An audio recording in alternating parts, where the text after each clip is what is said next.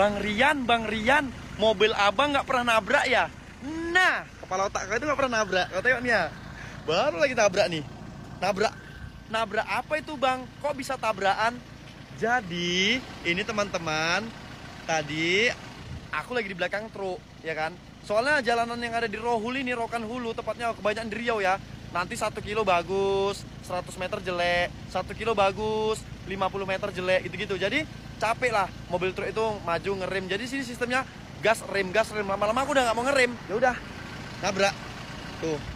Jadi ya pada intinya memang semoga aja dengan adanya Bang Raja Juli Antoni, jalanan yang ada di Riau ini bakal menjadi bagus. Ya intinya kampas rem awet ya kan, nggak banyak ngerem maju ngerem maju ya inilah jadinya tabrakan. Coba buka mesinnya, kena nggak tulang tulangnya katanya. Duh, ini yang diganti ini wajib. Ini grill ganti. Baru ini, uh, sampai kayak gini bentuknya. Eh, buka. Pani bukanya. Susah juga itunya. Oh, udah bisa dibuka aja itu. Coba. Parah kan teman-teman kan? Ya kayak gitulah. Kejadian tadi nabrak belakang truk ya.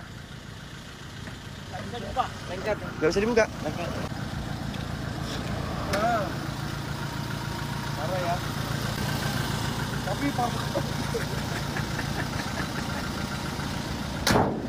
Bang Raja Julianto nih, tepatlah ya. Langsung langsung tonton ya untuk DPR RI Dapil 1 Provinsi Riau gas. Waspadai jangan sampai nabrak orang lah. Itu aja pada intinya. Kalau nabrak-nabrak belakang-belakang mobil itu nggak apa-apa lah, paling kan ujung-ujungnya ganti.